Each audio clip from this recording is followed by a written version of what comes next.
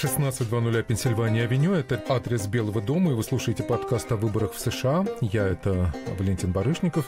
Со мной Анастасия Тищенко. Добрый. Настя, здравствуйте. Здравствуйте. Роман Могучий. Здравствуйте. Здравствуйте, Роман. И Владимир Абаринов на связи.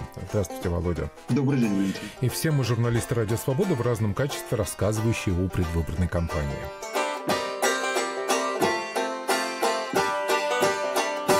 Выборы президента США, напомню, состоятся 5 ноября. Демократ Камала Харрис противостоит республиканцу Дональду Трампу. Это одна из самых экстраординарных кампаний за многие десятилетия. Но как бы ни развивались события, 20 января будущего года новый президент займет особняк по адресу округ Колумбия, Вашингтон, 1600 Пенсильвания-авеню. Начнем с перечисления новостей кампании за последние 7 дней, а потом обсудим их. Речью Харрис в прошлый четверг завершился съезд Демократической партии, и теперь она официальный лидер демократов на нынешних выборах. Роберт Кеннеди-младший, пытавшийся сначала выдвигаться от демократов, а затем шедший на выборы как независимый кандидат, объявил о выходе из гонки и поддержал Трампа. Между компаниями Харрис и Трампа разгорелся спор о дебатах 10 сентября по вопросу, должны ли быть микрофоны кандидатов открыты все время. Однако маловероятно, что этот спор приведет к отмене дебатов. И за 70 дней до выборов в ключевых колеблющихся штатах Харрис и Трамп по опросам очень близки в пределах статистической погрешности. Сводка новостей. Предлагаю начать с Роберта Кеннеди-младшего, который для меня как черт из табакерки выскочил, объявив о выходе из гонки. Я с удивлением обнаружила, что он вообще был, потому что ну, хотя бы где он был на дебатах. А и при этом, насколько я понимаю, в каких-то штатах он остается. Есть кандидат, который в бюллетенях говорит... он остается, ну подождите, где он на дебатах был? Его не пригласили. Я отвечу на ваш вопрос, а потом э, Володя добавит. Я чуть-чуть Вернусь назад. Кеннеди-младший представитель самой знаменитой демократической династии. Он а, а, как, племянник убитого президента Джона Кеннеди и сын убитого бывшего генерального прокурора и кандидата в президенты Роберта Кеннеди. А, и они были знамениты, то есть это буквально самая знаменитая фамилия в демократическом стане. Роберт Кеннеди довольно странный, в принципе, персонаж. Он э, э, адвокат, защитник окружающей среды, но при этом он э, большой сторонник всяких конспирологических теорий. И, как еще теперь выясняется, он большой, у него есть какое-то странное пристрастие к мертвым животным. Но это оставим в, стороне, в стороне вообще эти анекдоты из его жизни. Он прославился во времена ковида, потому что он распространял всякие конспирологические теории, и, наконец, он решил идти на выборы, о том, как он эти, на, решил идти на выборы, э, многое, мне кажется, говорит о его характере. Он, например, он собирался идти от демократической партии, как положено человеку да, с такой вы... фамилией. А, и он э, появился, насколько я помню, в роликах, э, в соцсетях, он отжимался. Мол, вот какой он и какой Байден старенький. Надо сказать, что в этом смысле он был прав. Э, Байден действительно был не молод. И... Отжимался удачно. Но, но, но Кеннеди отжимался удачно, но довольно быстро выяснилось, что в партии его не очень любят, и он скорее там были такие прикидки, он скорее, он, он приятен скорее республиканцам. Ну, понятно, вот особенно с COVID, всеми этими конспирологическими теориями э, вокруг ковида, и в результате он довольно быстро бросил э, попытки э, баллотироваться в демократической партии и пошел независимым кандидатом. В принципе, в истории США есть примеры довольно успешных независимых кампаний, которые не то что независимые кандидаты выигрывали выборы, но они оказывали существенное влияние на баланс сил между ключевыми э, кандидатами, отбирая голоса то у одного, то у другого кандидата. А независимые кандидаты должны собирать какие-то подписи за свое выдвижение? У них, да, да, они как бы в каждом штате, грубо говоря, там в каждом штате свои правила, но в каждом штате они как-то должны набрать либо какое-то количество голосов, либо их должны поддержать партии, которые уже имеющие. Например, есть кандидат от зеленой партии, просто они совсем мелкие. Ну, то есть есть кандидаты в президенты, скажем, от зеленой партии, есть кандидаты в президенты от либерт, либертарианцев. А, они существуют, но они особенно влияния не оказывают. Но Кеннеди потенциально мог оказать. И вначале считалось, что он больше голосов отбирает у Байдена, Но Трамп нервничал, компания Трампа говорила, что нет, это специальный такой человек, демократ, его подсылают, чтобы отбирать у нас голоса. Кончилось... Ну, любопытно, как э, информационное поле строится вокруг только двух кандидатов. Ну, и на, сам, на самом Кеннеди деле сейчас... меня в какой-то момент поразило, потому что э, мы говорим тогда про третьего кандидата и какие-то очень маленькое число голосов, которые они набирают. Они не набирают выборщиков, но на выборах 92 -го года был кандидат э, Перо. Э, за него проголосовали 18, почти 19 процентов э, избирателей. Но вы сейчас приводите... и, и он при этом не получил ни одного выборщика. Э. Но вы сейчас приводите в пример самый, самого знаменитого, самый знаменитый случай баллотирования независимого кандидата в новейшей истории. Не получают выборщиков, потому что, как мы помним, в каждом штате победитель получает все. Ну, так как бы за двумя исключениями. И поэтому все равно в итоге в каждом штате, конечно, выигрывает кандидат от крупнейшей партии. Володя, поправьте меня, если я что-то неправильно рассказываю. Ну, э, за исключением э, случая Тедди Рузвельта, но ну, это особый случай, он в свое время обиделся э, на то, что партия лишила его номинации – и э, организовал собственную партию, так называемую прогрессивную, и пошел на выборы как третий кандидат, и тогда он пришел вторым. Э, он, он, значит, выиграл, обошел кандидата своей республиканской партии Уильяма Тафта и пришел вторым. Ну, это событие столетней давности. То есть, но в новейшей истории это буквально как бы, достаточно редкая, редкая вещь, что независимый кандидат столь заметную роль играет. И надо сказать, что вначале Кеннеди играл заметно. Он по опросам был свыше 10%. Ну, там разные опросы по-разному давали. И это привлекало много внимания. А, пока... Он мог, как я понимаю, украсть э, голоса, которые предназначались Байдену. Ну, вот э, в какой-то момент считалось, что да, что он э, крадет больше у Байдена. Но ситуация резко поменялась, когда Байден ушел, Харрис вошла в гонку, он потерял очень быстро. Он, он скатился, его последний опрос, по последним опросам там 4-5%. Считалось, что за него голосует много молодежи, потому mm-hmm. что вот, мол, такие старые как сказать, нехорошо говорить старые, такие пожилые кандидаты. Степенные. Степенные кандидаты. И вот эти степенные кандидаты, они не очень э, хорошо с молодежью, а он отжимался ну, то есть э, тонус... Рэп, рэп не читал, если должен рэп, показать что-то молодой. Рэп я, рэп я не помню, честно сказать. В результате, когда вообще считается, что чем ближе к гонке, э, чем ближе к выборам, тем больше теряют эти независимые кандидаты, потому что люди вначале они так, а, ну попробую проголосовать за него, но чем ближе к гонке, чем ближе к выборам, тем больше люди, а, а нет, можно все-таки уточнить, а сколько их? Кого? Независимых. Ну, их э, всего было пять, сейчас их четыре. Я просто расскажу до, про Кеннеди и посмотрю, сколько у остальных сейчас. Не-не, а... мне просто количество было интересно вообще, сколько еще человек в этой комнате, о которых мы не говорим. Да, кстати, и он, он хотел попасть на, на э, дебаты с, на первые дебаты с Байденом и Трампом, он пытался попасть, но телекомпании все прекрасно понимают. Они устанавливают, они не просто говорят, Кеннеди, мы тебя не берем. Они говорят, к нам придет кандидат, который заручился поддержкой такого-то количества в стольких-то штатах. И он не прошел. А сейчас он уже осознал, что э, он отбирает почти ну, больше голосов у Трампа, и стало как бы очевидно, что он на самом деле скорее поддерживает Трампа. Он обижен на демократическую партию, он придерживается многих принципов, которые ближе э, трамповской партии э, МАГА, вот это «Сделаем Америку великой. То есть он по принципиальным позициям скорее ближе к ним. И когда это стало очевидно, он, э, ну, я так понимаю, он чуть-чуть подумал, подумал, вместе с компанией вышел, объявил о поддержке Трампа, при том, что Трамп перед этим сказал, что если э, Кеннеди выйдет, мы найдем ему, скорее всего, в моей администрации после выборов, когда я смогу победить, э, какую-нибудь роль в моей администрации. Видимо, это устроило Кеннеди, он вышел, объявил о поддержке. Это все выглядит как э, хитро устроенный подкуп Господи.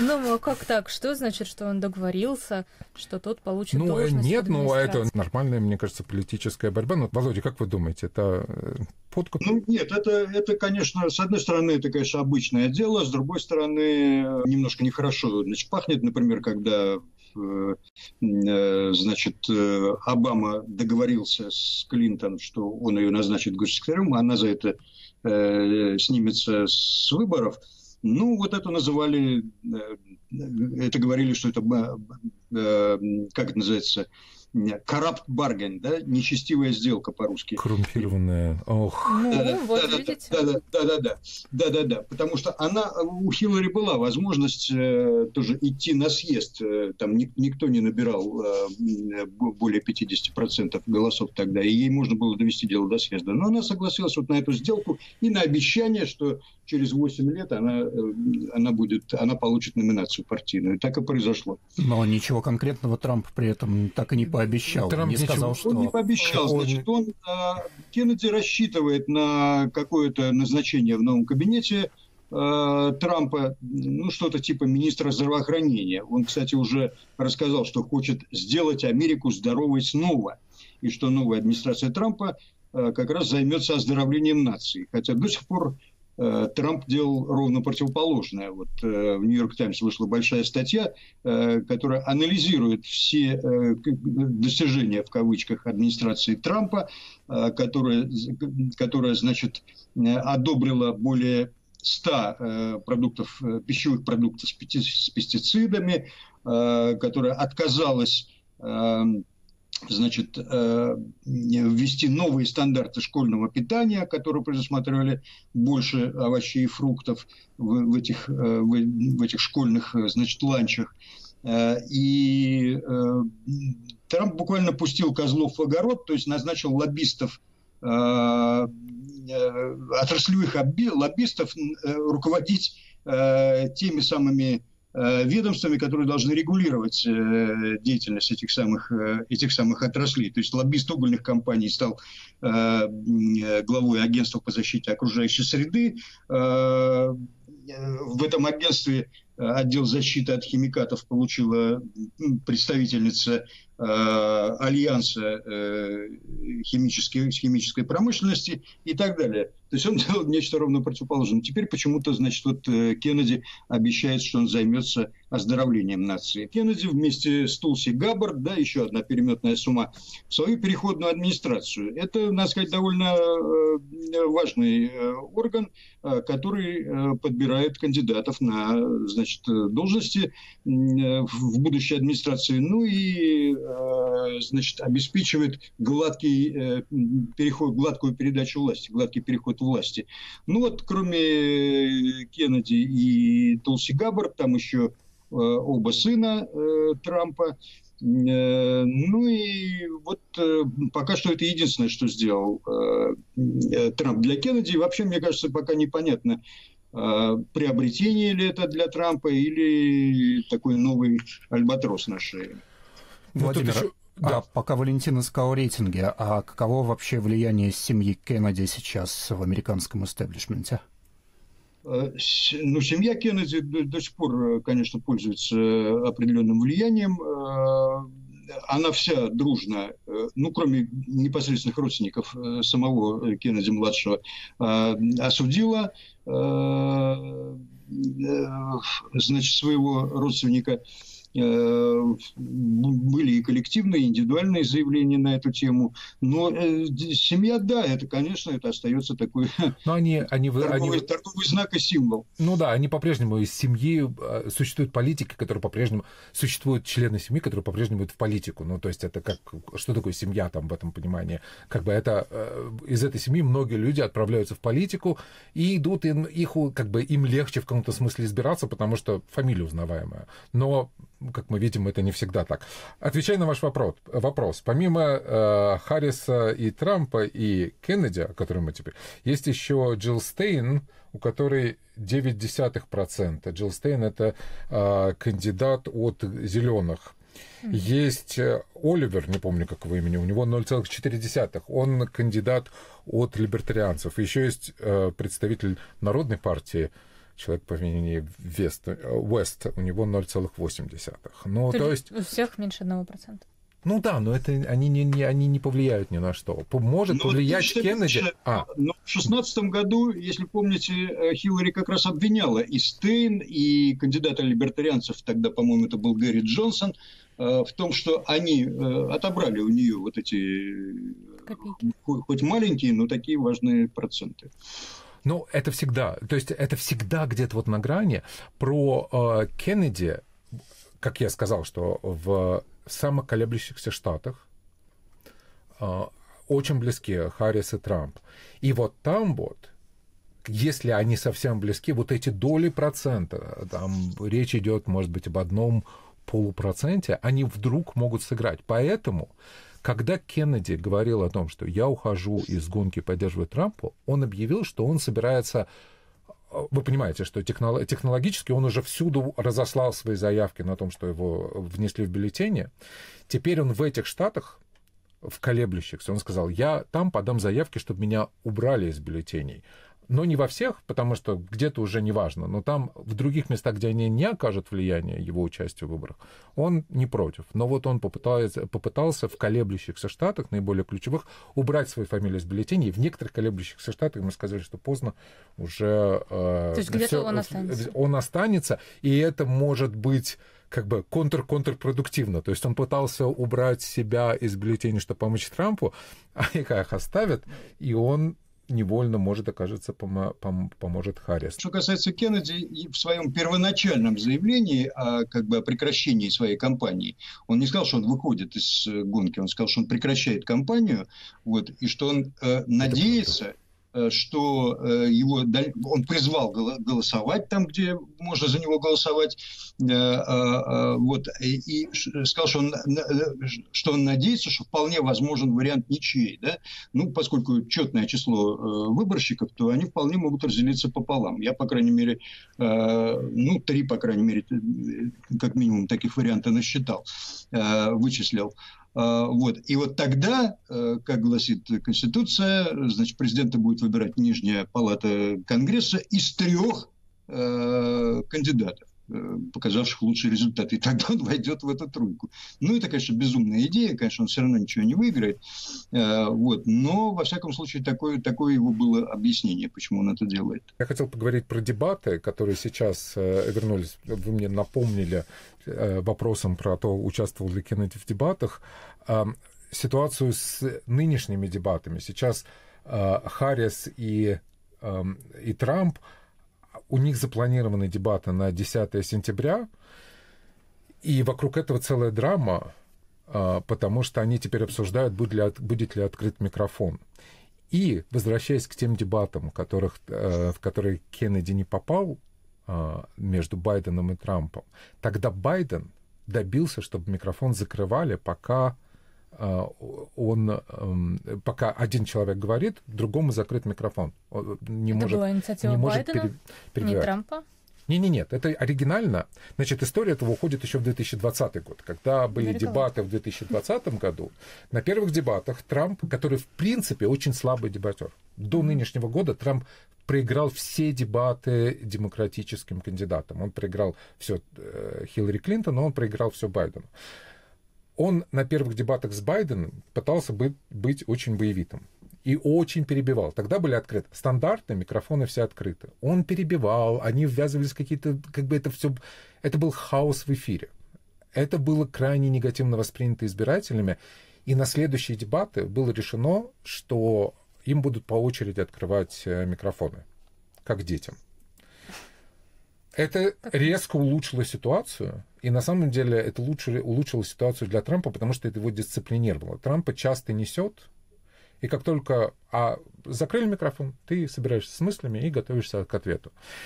Сейчас, когда Байден в июне а, шел на выборы, на дебаты с Трампом, он, он, они договорились, что не будет аудитории, что не будет выключ... будут выключаться эти микрофоны по очереди. Потому что для него, очевидно, он осознавал слабость свою в, в, в эфире. Он думал, что он дотянет это как-то, и, как выяснилось, не дотянул. Но думали они, что они смогут так вот победить Трампа, чтобы не нужно было буквально перекрикивать его. Выяснилось, что не будет никаких шпаргал, шпаргалок. Да, и, и это важно. Но это, кстати, это Байден, я не знаю, Володя, это же Байдену э, было сложнее от этого мне кажется. Он должен ну, был все держать в памяти. Выглядело так, что он иногда застывал, и пытался... Нет, ну, нет, ну тогда гадали, что кому выгоднее э, и какая сторона чего, чего добивалась, потому что в точности же неизвестно, э, неизвестны требования были сторон. Но, во всяком случае, сейчас э, стороны как бы поменялись местами в этом смысле. В результате, да, в результате сейчас э, Камала Харрис, она сказала, э, точнее, она согласилась на дебаты которые как бы она унаследовала от Байдена. Байден и Трамп, они договорились о дебатах в конце июня, и вторые дебаты на ABC News 10 а, сентября. Когда Байден вышел, формально Харрис не обязана была ничего, но и, и вообще как-то вот мы не чувствуем, что Харрис очень хочет общаться с прессой. Она, ее с трудом уговорили, сегодня вот будет э, ее интервью э, CNN, и вот будет, будут дебаты 10 сентября, и она не, не обещала каких-то новых дебатов. То есть ей, ей э, Трамп предлагал, давайте больше устроим дебаты, в том числе mm-hmm. на Fox News, Насколько я понимаю, Харрис тоже неизвестно как сильный дебатер. Ну вот э, это ученые спорят, потому что этот вопрос, который я в разных местах по-разному вижу. Потому что, с одной стороны, мы видели, что она, она может э, дебатировать, она, она бывший прокурор. Она, по идее, да, умеет говорить, она умеет формулировать и выражать свои мысли. С другой стороны, мы видим, что... В 2020 вот эти... году она очень даже Байдена... У них был острый момент такой, значит, с Байденом, когда она Байдена в расизме обвинила, да, и сказала, что вот я та самая маленькая девочка, которую вы запретили возить на автобусах, да, в школы. Когда-то а... она выкопала старую позицию Байдена по политике сегрегации, да, но это, это правда. Вот Володя, видите, приводит примеры. Ну, или, в каких скажем, условиях вот, это было? Ну, прямые, это были открытые прямые дебаты э, в, в демократических праймерах. А в результате Байден тогда э, по итогам всех, как бы по итогам той кампании тех праймерис пригласил ее своим вице-президентом. Но там был жесткий момент, который, о котором Володя говорит. И другой момент, который сейчас все вспоминают, Володя сказал, что Трамп пригласил в свою переходную вот эту команду, которая в случае как бы вот этого перехода, если он выиграет выбор, будет переход от новой, старой администрации к новой, а, там будет Кеннеди-младший, и там будет Тулси Габбард, это бывший демократический политик, mm-hmm. а, которая вышла из партии, в 2020 году при этом она баллотировалась, тоже пыталась баллотироваться в президента от демократов. А, но потом она сейчас. в 2020 году, 4 20. года назад. Потом она вышла из партии, и сейчас э, она перешла к Трампу, э, вошла, как бы она поддержала Трампа. Более того, сейчас она по сообщениям помогает Трампу готовиться к дебатам с э, Харрис, в качестве, выступая в качестве спарринг-партнера в роли Харрис потому что она в 24 года назад, она довольно жестко, уже 5 лет назад, она уже жё, она очень жестко беседовала с Харрис в дебатах. Харрис тогда тоже довольно, она неплохо выступала, но с другой стороны, вот мы не знаем, потому что есть, иногда показывают ее видео, где кажется, что она теряет э, нить повествования. Я не знаю. Ну, иногда это... Трампа так несет, что уже хочется. Вот мы поэтому, вот мы поэтому это увидим 10 э, сентября, если вдруг это не развалится. И но суть в том, что сейчас а, команда Харрис, когда она согласилась на дебаты 10 сентября, она сказала, мы согласны на дебаты, но правила заново надо будет обсудить. И сейчас они сказали, хотим открытые микрофоны все время. Хочу а, компания Харрис сказала, что она хочет в прямом, как бы в режиме реального времени противостоять потоку лжи, который, значит, несет Трамп. Трамп сказал, что ему вообще... Компания Трампа сказала, что, слушайте, ребята, мы договорились обо всем, вы просто хотите, вы боитесь дебатов, поэтому хотите что-то переиграть их. Трамп э, журналистам сказал, что, знаете, мне вообще все равно, я, наверное, даже не против был бы а, как бы с открытым микрофоном, потому что э, Харрис плохой дебатер. Но, в принципе, мы договорились о правилах. Я думаю, что в конце концов они урегулируют, потому что обеим сторонам это важно. Харрис, очевидно, все-таки на нее есть давление, чтобы она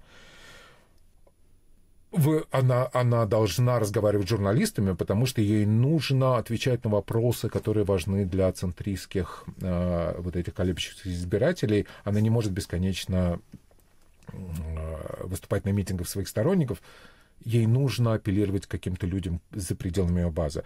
Трампу тоже нужно, он чуть-чуть отстает теперь, это не его инициатива, как мы уже это обсуждали, не его инициатива сейчас в вопросах, а, и поэтому ему нужно то же самое, ему нужно апеллировать а, к центральным избирателям, к центристски настроенным избирателям. А, ну вот я вообще считаю, что это неплохо, что после замены Байдена кампания как бы обнулилась, да. Все-таки американская президентская кампания длится слишком долго, полтора года, да, а три месяца это в самый раз. И э, вот за эти три месяца мы уже э, увидели несколько волн или, так сказать, скачков. Да? Первое – это вступление в гонку Харрис, второе – это выбор вице-президента, и третий – это съезд. Съезд обычно э, дает э, баунс, да, ну, скачок, да, э, баунс по-английски называется, ну, где-то в 2-3%. Вот мы его увидели. Теперь Э, вопрос заключается в том, удастся ли Харрис удержаться на этой волне. А, потому что на нее, конечно, сейчас в полную силу работает э, партийная машина, и эта машина верно рассчитала, что через неделю после съезда потребуется какой-то новый импульс. Вот э, с этим расчетом и запланировано было интервью на дружественном телеканале. А, потому что Трамп обвинял Камалу в том, что она не дает интервью, а сам он дает много, но они как бы э, обесцениваются, именно потому что их много, и на таких второстепенных, часто второстепенным таким интервьюерам он дает. А, ну, я вот не знаю, это такой вопрос. А, он, он выступает в подкастах, он ходит ко всем. Он на самом деле Трамп. Он в этом... написал книгу, у него есть социальные сети. Сотни, да, постов своих. Более того, Роман, я вам скажу, у меня есть книга поэзии Трампа. Это, правда, поэзия в том смысле, что кто-то вытащил твиты его и организовал их как э, поэтические строки. У меня есть книга, которая называется по «Поэзия перепис... Трампа». Из... Его? Ну, он организовал твиты, знаете, как Маяковский, вот писал так а. рубленными строчками. Вот так у меня есть э, поэзия Трампа, и, в принципе, местами это впечатляет. А Значит, сейчас вот опять будет всплеск после этого интервью, а потом а, следующий этап – это дебаты 10 э, сентября, и после которых, значит, неизвестно, э, э, значит, в чью, в, чью, в чью пользу будет всплеск. Но уже 6, уже 6 сентября в некоторых штатах начинается голосование по почте, а 16 раннее голосование личное, да, личное, да, уже можно прийти будет на участок. Первое да. в Пенсильвании, 16 сентября, 20 Вирджиния, Миннесота, Южная Дакота и так далее. Вот такой... Все, э, голосование э, начинается, все. Как бы... Это уже финишная прямая. Но эти бюллетени когда... Э, Они будут посчитаны посчитаны. только 5 То ноября. Они, они будут лежать в... и запечатанными лежат. Запечаты... Абсолютно. А, Володя вот говорит, что а, после съезда а, Харрис пошла в гору. Это правда. Но интересная, интересная вещь, что Трамп после э, съезда, который закончился э, прошлый четверг, то есть неделю назад, тоже пошел в гору. После съезда демократической партии. Демократической партии. Почему? Я, у Харрис вот, была хорошая объединяющая речь. У Харрис была хорошая объединяющая речь, а у Трампа, возможно, был э, Кеннеди, может быть, Кеннеди голоса пришли к нему, может быть, он что-то правильное сказал, может быть, он правильно критикует Харрис. Это, собственно, сейчас начался вот тот этап, когда уже кандидатам в тот момент, когда Харрис приняла вот эту, произнесла номинационную речь, она демократи... как в прошлое, как четыре года назад э, в дебатах э, Трамп что-то сказал э, Байдену, что, мол, ваша демократическая партия, она там вас заставит э, быть более левой, она ваши, у вас там сплошные леваки. На него Байден посмотрел и сказал, я демократическая партия.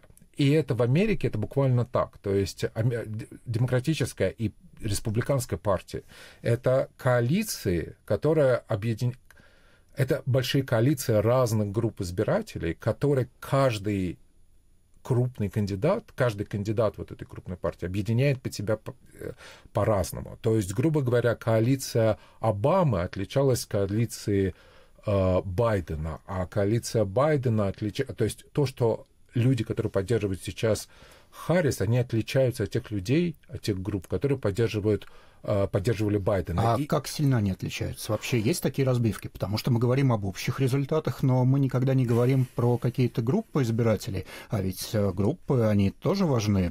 Группы э, прогрессивных демократов не хотели голосовать за Байдена. Писали о том, что чернокожие избиратели не хотят больше голосовать за Байдена, хотя он всегда был их главным их э, лидером. Ну, я, могу, я могу сказать так, не то, что это... Мы, мы не говорим о каких-то колоссальных группах, но это вот именно коалиция, то есть, э, которые собираются из маленьких ручейков. Я могу привести в пример. Вы говорите о том, что есть э, вот эти прогрессистские круги, которые э, очень про, э, пропалестинские, и они... Mm-hmm все время требовали от э, демократического кандидата, что вот как бы поддержать больше палестинцев, иначе мы не будем голосовать. Я сейчас вижу э, заявление какой-то одной из групп пропалестинских, которые говорят, что они недовольны, что они считают, что демократический э, президент, демократическая администрация должна сделать больше, но они поддерживают Харрис. Это то, что неизбежно делает э, как бы вот эти удаленные группы избирателей, как бы консерваторы будут все равно поддерживать Трампа, потому что им все равно лучше поддержать Трампа, чем поддержать э, демократического кандидата. Ну да, мы недовольны э, позицией демократической партии, но улицы в Израиле переименовывали в честь Трампа, а не да, в честь именно Харрис. так. И поэтому, а, скажем, вот эти очень левые, они все равно поддержат в конце концов Харрис, или кто-то из них не пойдет на выборы может, кто-то из них проголосует за Трампа в знак протеста, но этим можно пренебречь с точки зрения э, кандидата, собирающего как-то больше людей в центре. Но с другой стороны, вот вы говорите, чем отличаются? Э, я вижу вопрос, в каком-то опросе я видел, что, например, в колеблющихся штатах белый рабочий класс, э, который больше поддерживал Байдена, они сейчас, поддержка Харрис падает по сравнению с Байденом, потому что этот белый рабочий класс больше поддерживал Байдена, и меньше будет поддерживать Харрис. Не это часть социального это... жилья. Нет, потому что Байден известно, что вот этот белый рабочий класс в колеблющихся штатах, например, в Пенсильвании, как бы вот такой э, ржавый пояс. Мы с Володей как-то обсуждали это, что вот эти э, бывшие индустриальные районы, которые пришли в некоторое запустение, э, там довольно сильный белый рабочий класс, который традиционно рабочий класс поддерживал демократов. Но Трамп победил, потому что он как бы а он он стал выразителем их интересов. Они пошли. И что Байден вернул. Хотят? Они хотят какой-то... Они потеряли много на глобализации. Трамп обещал протекционистскую политику. При всех как бы странностях Трампа как кандидата, он обещает вполне ясную политику для многих групп, которые могут не, им может не нравиться Трамп как кандидат, но они в конце концов голосуют за него. Белый рабочий класс, который хочет протекционистской политики. Байден переманил их обратно, Харрис может их потерять, они поддержат, если обратно пойдут к Трампу. А, Харрис очень рискует в Пенсильвании, очень рискует в Мичигане. И если она там чуть-чуть потеряет, она может провалить выборы. А, сейчас Харрис, в свою очередь, точнее, это будет чуть-чуть странная история. Аксиос написала статью о том, что, оказывается, Харрис теперь поддерживает строительство стены. Строительство стены на границе с Мексикой — это самая знаменитая вещь Трампа в 2016 году. Мы заставим Мексику, мы построим стену, неважно. И, и теперь Аксиос пишет, что на самом деле Харрис не против стены. Выясняется, что Харрис на самом деле просто поддерживает вот этот двухпартийный законопроект об усилении э, безопасности на границе, который в частности... Но это не сама Харрис сказала, это не со ссылкой на свои ну, источники. Ну, там компания и... Харрис сказала, кто-то из компании Харрис сказал. Речь идет о том, что Харрис пытается изо всех сил сказать, ребята, ребята, мы победим вот эту нелегальную миграцию на границе. И это то, что главная критика со стороны республиканцев – и э, республиканцы немедленно говорят, нет, вспомните, она никогда не хотела эту стену, и сейчас, конечно, это полная ложь и ерунда, она ни, ничего такого не будет. В обратную сторону. А вице-президент, кандидат вице-президента при Трампе, э, Венс, он говорит, что Трамп, в, в интервью говорит, Трамп э, никогда не поддержит общенациональный запрет на аборты, и если так Конгресс приш, э, примет такой закон, наложит вето на него. Значит, консерваторы, которые э, голосуют за Трампа, которые не очень религиозные, религиозные консерваторы, они голосуют за него, потому что он э, как бы обеспечивает вот эту э, борьбу с абортами, как бы запрещает аборты, потому что с их точки зрения аборты это убийство детей. они страшно недовольны, но в конце концов они все равно проголосуют за него. Им просто больше не за кого голосовать. Да, но центристы, которые обеспокоены, они вот выбирают сейчас так. Харрис вроде мне нравится, но она плоха на границе. Для них Харрис говорит, ребята, с границей справимся. Они говорят, окей, тогда вот аборты, она, в принципе, Харрис хороша, но вот мы, может быть, за Трампа бы проголосовали, но Трамп э, про аборты. Тогда им Венс говорит, не-не-не, ребята, а, мы не будем запрещать полностью аборт. Это вот в каждый штат будет решать, там, каждая комьюнити, каждая община будет решать сама. И это такая, это буквально борьба вот за этого центрального колеблющегося избирателя. Это стандартная вещь. Всегда в начале на праймерис кандидаты борются за голоса как бы всей своей партии, они таких на более крайних позициях. Как только они становятся э, кандидатами своих партий, партии уже как бы за них, они сдвигаются в центр и пытаются выиграть центристских э, не присоединившихся э, э, избирателей. Володя. Ну, я, во-первых, добавлю, что э, в двух фронтовых этих колеблющихся штатах, в Аризоне и Неваде, вместе с выборами будут референдумы о запрете абортов. И опросы показывают, что в Аризоне 73%, в Неваде 75% избирателей против запретов, причем и в Аризоне, и в Неваде э, и большинство, в Аризоне половина республиканцев, а э, в Неваде 54% республиканцев против запретов.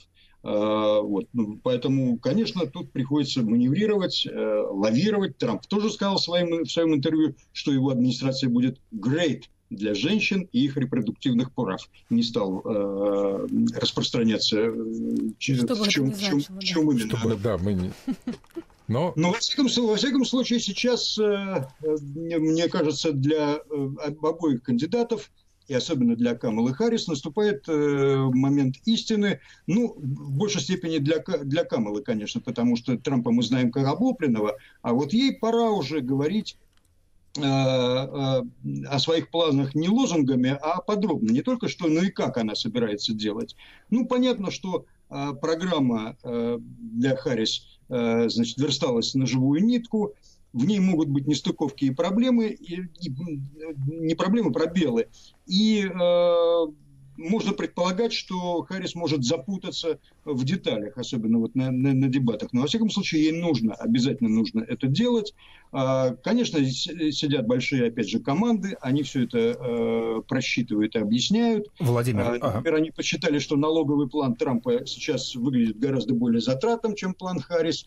У э, Трампа это э, почти 6 триллионов на 10 лет, а у Харрис всего, всего триллион 200 миллиардов. Владимир, а, а нужно ли, нужно ли на самом деле что-то говорить? Может быть, ее стратегия, когда она уходит от этого от того, чтобы с кем-то разговаривать самое выгодное, потому что, как вы справедливо говорите, мы хорошо знаем Трампа, а, мы знаем о нем все, и а, он говорит и часто закапывает сам себя, а Харрис может смотреть, ее никто не знает, у нее меньше антирейтинг. Да, конечно, и может быть, может быть э, из этих соображений э, Камала и хочет не отключать микрофон, что э, рассчитывает на то, что действительно какую-то значит, кухонную свару опять затеет Трамп, а, вот, и наговорит много лишнего. Вот, что она там, что она там женщина, что она не то, не, не то э, афроамериканка, не то индианка, э, вот и так далее. И это и, и тем самым сам, сам, себя, сам себя погубит. А, но а, с другой стороны, да, она, да, она, она вот уклоняется, да. Вот сегодня она сядет э, один на один э, с э, Дэной Бэш, да, э, с CNN, с которой она сделала много интервью, э, вот, и она должна будет говорить все-таки дело. Это не предвыборный митинг, где нужно выкрикивать слоганы, а это разговор по существу. Я надеюсь, что это будет разговор по существу. Вот. И этот разговор давно назрел. А, Давайте, что... Володя, можно я тут э, добавлю, поправлю? Она не на один на один, не один на один она сядет э, э, на интервью, она зачем-то взяла с собой Тима Уолза, не знаю зачем. Да, а, я забыл, да. А, и это, конечно, такая Это, это подвергнет, это просто подставляться под дополнительную критику, мол, типа, она избегает интервью один на один. Я не знаю, зачем это делается. Они прекрасно понимают, как это читаются. В смысле, избирательная кампания э, Харрис, она прекрасно понимает, что это, к чему это приведет. Я даже сторонник вот этой щадящей э, версии, почему э, Харрис молчала все это вот по существу. Она мне представляется не потому, что она боялась прессы, а потому что у нее программа не очень готова, а ей нужно придумать, как бы ей нужно придумать довольно специфические позиции, которые, как мы обсуждали в прошлый раз, они будут отличаться от администрации Байдена, но при этом они э, в духе, как бы, с которыми она может пойти победить Трампа по существу. Ее речь показывает, что она, в принципе, нашла правильную тональность. Очень многие за пределами республиканца эту речь хвалили. Речь, на, с которой она выступала в заключение а, а, это музыкальная пауза.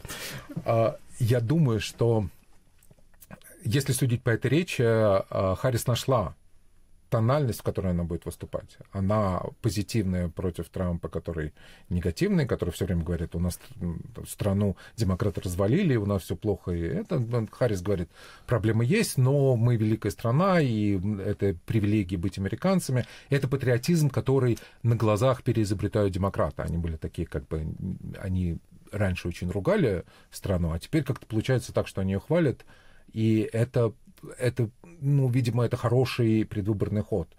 Она ничего в речи про экономику такого Помните, мы обсуждали, что mm-hmm. вот это вот не очень понятная, но скорее левая идея регулирования цен на какие-то продукты.